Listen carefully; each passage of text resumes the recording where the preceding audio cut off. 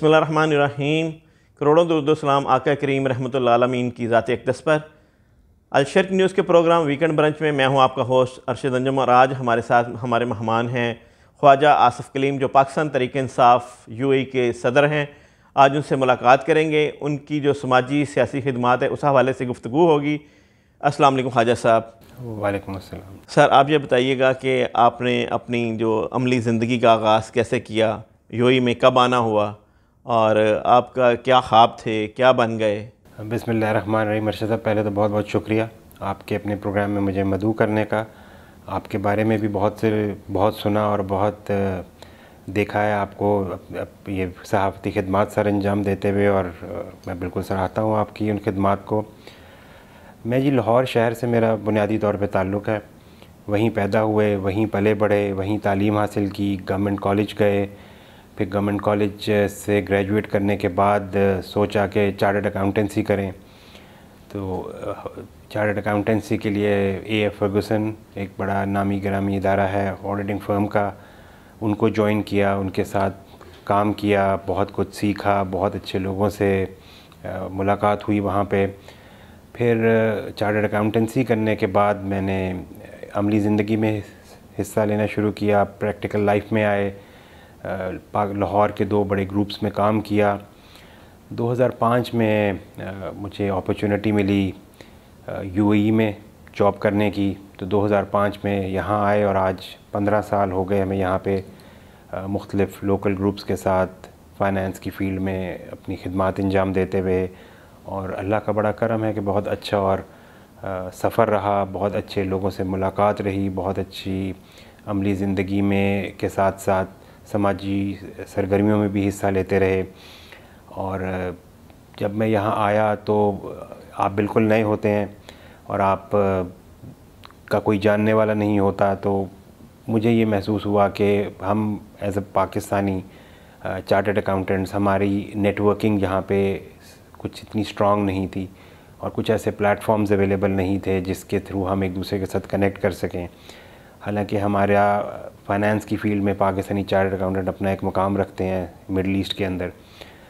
तो कुछ दोस्तों के साथ अपना सोच शेयर की और आई कैप जो हमारा इदारा है पाकिस्तान में, उनके साथ अपना प्रोसेस शेयर किया थॉट प्रोसेस और ये डिसाइड किया कि हम यहाँ पे एक प्लेटफॉर्म डेवलप करें, जो कि आई कैप यू ई का लोकल चैप्टर होगा यहाँ, जिसके साथ हम पाकिस्तानी चार्टर्ड अकाउंटेंट्स को कनेक्ट भी करें, उनको सपोर्ट भी करें और जो नए आने वाले लोग हैं उनको प्रमोट भी कर सकें, ताकि हमारी मार्केटिंग और ब्रांडिंग डेवलप हो इस रीजन के अंदर। तो हमने 2012 में एक चैप्टर फॉर्म किया आई कैप के साथ मिल और ये एक्टिविटी हमने अमली तौर पे स्टार्ट की, और जो बड़ी सक्सेसफुल रही being a founder member I feel very proud कि हमने ये काम किया, और बहुत से लोगों का रोज़गार इस प्लेटफॉर्म के थ्रू राइट एम्प्लॉयर्स के साथ कनेक्ट हुआ और इसी तरह ये काम चलता रहा। चार साल में इनके साथ रहा। ये ये एक्स्ट्रा करिकुलर एक्टिविटीज़ हैं बिसाइड्स द जॉब जो कि टाइम भी मांगती थी काफ़ी। लेकिन अल्लाह का शुक्र है, हम मैनेज करते रहे इन चीज़ों को। और ये एक फिर सिलसिला चल निकला और आज भी ये चैप्टर है और अपनी खदमात अंजाम देता है और सी एफ़ ओ कॉन्फ्रेंसेस कराता है और काफ़ी इसने मार्केटिंग और ब्रांडिंग में बड़ा इंपॉर्टेंट रोल प्ले किया है यहाँ पे। इसी दौरान हमारा प्रोफेशनल कैरियर भी ग्रो हो रहा था, काम भी चल रहा था। इसके साथ साथ जो कुछ एक्टिविटीज़ में मैं हिस्सा लेता रहा वो पाकिस्तान एसोसिएशन ऑफ़ दुबई के साथ कनेक्ट हुए। उनके साथ हमने समाजी सरगर्मियों में हिस्सा लिया। फिर दो इनिशिएटिव जो पर्सनली मेरे दिल के बड़े करीब हैं, जो मैं समझता हूँ कि पाकिस्तान का बुनियादी मसला भी हैं, वो सेहत और तालीम है। और जो कि हमारे leader prime minister Imran Khan का भी विज़न है, हमेशा से उनकी सोच भी यही है। तो दो जो दो इनिशिएटिव उसमें, एक तो शौकत खानम जिसके साथ मैं जब से शौकत खानम बना है एसोसिएटेड हैं इवन जब हम कॉलेज में भी थे, तब भी शौकत खानम की फ़ंड रेजिंग्स में हिस्सा लेते थे। और दूसरा एजुकेशन से रिलेटेड एक सिटीज़न फाउंडेशन के नाम से एक इदारा है जो कि पाकिस्तान में बड़ी उनकी अच्छी खदमात है मैं समझता हूँ। तो उनके साथ भी मैं शामिल रहा उनकी एक्टिविटीज़ में। और इसी तरह ये सिलसिला चलता रहा टिल के एक टाइम आया कि जब आ, मुझे ये महसूस हुआ कि पाकिस्तान में जो पॉलिटिकल सिस्टम चल रहा है उसमें कुछ हमें चेंजेस लाने की बड़ी सख्त ज़रूरत है और एज ए नेशन हमें इस चीज़ के बारे में सोचना चाहिए। और जैसे कि खान साहब का विज़न है कि हर आदमी पॉलिटिकल होता है, सिर्फ़ दो चीज़ों में नहीं हो सकता, या तो वो बुजदिल हो या खुद गर्ज हो। अदरवाइज़ हर आदमी का एक पॉलिटिकल पॉइंट ऑफ़ व्यू होना बहुत ज़रूरी है। तो मुझे जब मैं एसोसिएट हुआ इमरान ख़ान की तकरीरों के साथ, उनके विजन के साथ तो मुझे फ़ील हुआ कि ये मेरे दिल की आवाज़ है। जो मैं चाहता हूँ या जो मैं सोचता हूँ, वो इमरान ख़ान की शक्ल में हमें नज़र आता है कि ये एक वो शख्सियत है जो इतने डिटर्मेंट हैं और इतने मुस्तकिल मिजाज हैं कि इनको कोई चीज़ भी जो उनकी सोच है उससे नहीं हटा सकती। तो 2009 में यहाँ पे कुछ दोस्तों से मुलाकात हुई, जिनमें पीटीआई के फाउंडर मेंबर मियाँ वैस अंजुम का नाम सर फ़हरिस्त है। उनके साथ गुफ्तु के बाद लगा कि हमारे ख्याल आपस में काफ़ी मिलते हैं। तो फिर मैंने उनके साथ शामिल होने का फ़ैसला किया और पीटीआई के कारवां को यूएई में बढ़ाने के लिए अपनी खदमात पेश की कि जो भी आपको हमारे फोरम से आई कैब से या हमारे कम्युनिटी से जो भी रिक्वायर्ड है, जो हमारे लिए आप समझते हैं, हमें भी मौका दें। और फिर ये सफ़र साथ चलता रहा लोग आते रहे, लोग मिलते रहे, लोग साथ चलने के लिए इकट्ठे रहे। और हम फिर फ़ंक्शंस भी कराते रहे समाजी कामों में भी रहे, जहाँ भी हमारी पहुँच थी, क्योंकि हम अपोजिशन में थे और स्ट्रगल कर रहे थे एज अ पीटीआई तो वो एक एक डिफरेंट प्रोसेस है उसमें आपकी ग्रूमिंग का और आपकी सोच का। तो हमें लगा ये कि पीटीआई एक ऐसा मुस्तबिल है पाकिस्तान का, जो कि पाकिस्तान में तब्दीली लाने का वाद ज़रिया है। और फिर ये सफ़र इमरान खान साहब की विज़न के साथ चलता रहा। 2013 के इलेक्शन में भी हमने बहुत काम किया लोकल कम्युनिटी को कन्विंस करने के लिए, उनको पीटीआई का वोटर बनाने के लिए, उनके मसले मसाइल हल करने के लिए।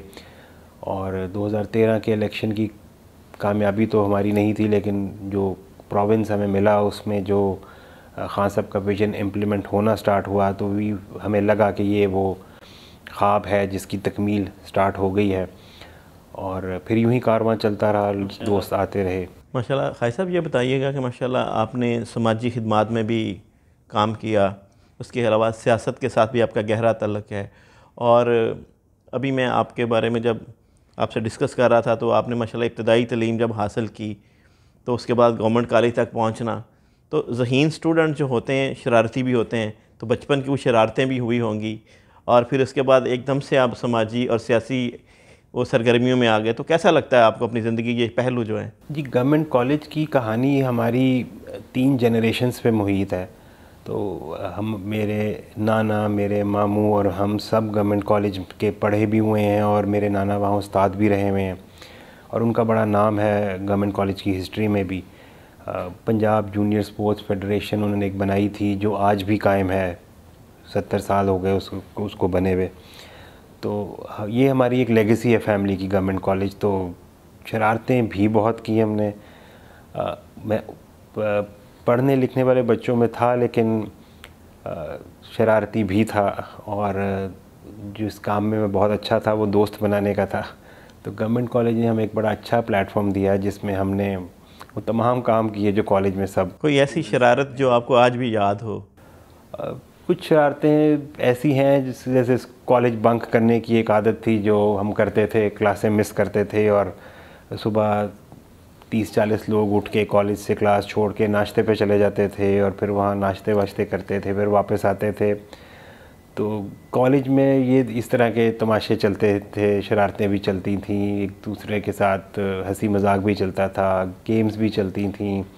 तो वो एक बड़ा मेमोरेबल टाइम था जो हमने कॉलेज में गुजारा। जहानत और शरारत का हिस्सीन इम्तजाज लगता है कि आप जहीन भी थे और शरीर भी थे। कैसा लगा फिर वो दौर? आज भी याद आता होगा आपको तो। वो दौर जी वो दौर बिल्कुल कभी ना भूलने वाला दौर है क्योंकि मेरे आज भी तमाम वही दोस्त हैं जो उस कॉलेज के ज़माने में थे। तो आज हमारी उस दोस्ती को भी तीस तीस साल गुजर गए ज़िंदगी में जो आज भी हम चल रहे हैं और आज भी एक दूसरे के साथ उसी तरह कनेक्टेड हैं और और उतने ही शरारती हैं जितने पहले थे। तो गुस्सा भी आता है और कोई ऐसी बात जिस पर ज़्यादा गुस्सा आता है और प्यार किस बात पर आता है? गुस्सा जी मुझे बिल्कुल आता है और सबसे ज़्यादा इस चीज़ झूठ बोलने पे आता है लोगों के नाइंसाफ़ी देखने पे आता है। और प्यार मुझे हमेशा लोगों से रहा है। जब भी मैं किसी को मुश्किल में देखता हूँ तो मुझे मेरा दिल चाहता है कि मैं उसके लिए कुछ कर सकूँ तो मैं ज़रूर करूँ। जी खाई साहब ये बताइएगा कि बंदे में अच्छाइयाँ बुराइयाँ हर किसी में होती हैं। कोई ऐसी अच्छी बात जिस पर आपको अपने आप पे प्यार आता हो? और कोई एक ऐसी बुरी बात जिस पे आप कहते हो यार ये बात नहीं होनी चाहिए थी ज़िंदगी के अंदर अच्छा साहब जो मुझे चीज़ पसंद है और जो मैं समझता हूँ कि हर इंसान में होनी चाहिए वो है एक अच्छा बेटा अच्छा हस्बैंड अच्छा बाप जिन चीज़ों को मैं समझता हूँ कि ये अगर आप में क्वालिटीज़ हैं तो आप एक अच्छे इंसान हैं। और बुरी चीज़ें बिल्कुल यही हैं अगर आप ये तीनों चीज़ें नहीं हैं तो आप किसी और के लिए भी कुछ नहीं कर पा सक कुछ कर पाते। तो मुझे लगता है कि ये चीज़ें इंपॉर्टेंट हैं ज़िंदगी में कि आप आ, कैसे बिहेव करते हैं अपने रिश्तों से, अपने दोस्तों से, क्योंकि यही आपकी शख्सियत होती है जिसकी अक्सी आप अपनी प्रोफेशनल लाइफ में भी करते हैं। ऐसा नहीं होता कि आपकी शख्सियत प्रोफेशनल हो के बिल्कुल डिफरेंट हो जाए और पर्सनल बिल्कुल डिफरेंट हो। तो ये शौक़ मुझे हमेशा से ही था कि मैं लोगों के काम आने की कोशिश करूँ और और अल्लाह का शुक्र है, अल्लाह ने हमें इसमें कामयाबी भी दी चीज़ों को। साहब, जो लोग केयरिंग होते हैं उनके अंदर एक जज्बा होता है प्यार का जज्बा। तो क्या आप भी प्यार पे बिलीव करते हैं? और आपकी शादी जो थी वो लव मैरिज थी या अरेंज मैरिज मैं जी बिल्कुल प्यार पे बिलीव करता हूँ ज़रूर से ज़्यादा प्यार पे नहीं करता बिल्कुल भी। और शादी मेरी अरेंज मैरिज थी कम्प्लीटली फैमिली की मर्ज़ी से हुई थी और लाहौर में ही हुई थी। ऐसा ये बताइएगा कि आप माशाल्लाह इसमें सियासी वाबस्तगी आपकी पाकिस्तान तरीक इंसाफ के साथ है। तो 2009 के अंदर आप पाकिस्तान तरीक इंसाफ ज्वाइन आपने की। तो उस वक्त और भी सियासी जमातें पाकिस्तान में थीं तो पीटीआई क्यों? आ, इसका जवाब जी मैं आपको इस तरह दूँगा कि मैं पॉलिटिकल विजन या पॉलिटिकल सोच तो हमेशा से ही रखता था। और जब भी इलेक्शन होने कॉलेज के ज़माने में कॉलेज में भी ये बेनज़ीर का दौर है तो उसमें तलबा तंजीमों पे पाबंदी उठाई गई थी। तो हमने भी अपना रोल प्ले किया कॉलेज की पॉलिटिक्स में। तो पॉलिटिकल सोच हमेशा से रही है मेरी। जब तक दो निज़ाम पार्टी का सिस्टम था पाकिस्तान में तो बींग पाकिस्तानी हमारी हमदर्दियाँ उस ज़माने की जो भी मियाँ नवाज़ शरीफ की जमातें जो मुख्तलिफ़ नामों से चलती रहीं, उनके साथ रही हमेशा। और बाय कास्ट भी हम लोग कश्मीरी बरदरी से ताल्लुक़ रखते हैं तो उनके साथ कुछ ताल्लुक़ भी था। मेरी वालदा भी बड़ी एक्टिव थी, जो कि मेरी इंस्पिरेशन है ज़िंदगी की। जब हम स्कूल में थे तो वो वेमन विंग मियाँ नवाज़ शरीफ का चलाती रहीं, अपने ज़माने में उनको सपोर्ट करती थी। तो लेकिन जब हमने ये देखा ड्यूरिंग यू नो जब हम बड़े हो रहे थे और एक सोच पुख्तगी की तरफ़ जा रही थी कि ये सिस्टम हमें कुछ दे नहीं रहा। जो सिस्टम हम देख रहे हैं इस मुल्क का और इस इस पॉलिटिकल जमातों का विजन और जो सोच और फिर जो चीज़ें हमें मालूम हो रही हैं, ये वो चीज़ नहीं है जो हमें पाकिस्तान के लिए चाहिए। तो उस दौरान एक एक प्रोसेस चला जिसमें मियाँ साहब बाहर गए मार्शल लॉ लगा। मार्शल लॉ के दौर में जिस तरह पॉलिटिक्स के साथ खेला गया उस उस चीज़ को देखने के बाद महसूस हुआ कि नहीं, कोई ऐसी तीसरी ताकत होनी चाहिए जो इन सब चीज़ों को चैलेंज कर सके और एक तीसरी ऑप्शन के तौर पे आए और फिर उस, इस ऑप्शन की, का विजन और सोच ऐसा हो जो कि नज़र आए कि पाकिस्तान के लिए कोई डिफरेंट भी सोच सकता है। तो इस दौरान पीटीआई एक जमात के तौर पे चल तो बहुत सालों से रही थी लेकिन उतनी सक्सेसफुल नहीं थी। तो लगा पर्सनली मुझे ये कि हमें as a group as a friend you know हमें इस, इस पार्टी को सपोर्ट करना चाहिए बिकॉज़ इसके इसकी सोच और इसका मंशूर और इसकी इसकी क़्यादत और इसका लीडर आ, कुछ ऐसा है जो कि बाकी लोगों से मुख्तलफ है। और जो उसकी सोच है वो एक ऐसी सोच है जिसमें वो एक डिफरेंट पाकिस्तान देखता है। और मेरा हमेशा से मानना यही है कि पाकिस्तान में बहुत पोटेंशियल है। आप किसी भी एंगल से देखें चाहे वो रिसोर्स के हिसाब से हो, चाहे वो ह्यूमन रिसोर्स के हिसाब से हो, चाहे वो सेहत के अतबार से हो, चाहे वो उस मुल्क के लोगों के पोटेंशियल के हिसाब से हो, मेरा हमेशा से मानना है कि हम लोग एक बेहतर कौम हैं और हमें सिर्फ़ यूनाइट होने की ज़रूरत है कि हम दुनिया को दिखा सकें कि हम क्या कर सकते हैं। जी, इस वक्त हमारी ख्वाजा आसफ़ कलीम साहब से, उनकी ज़ाती ज़िंदगी के हवाले से, सियासी और समाजी खदमात के हवाले से बातचीत का सिलसिला जारी है। यहाँ वक्त है एक ब्रेक का और मिलते हैं एक ब्रेक के बाद।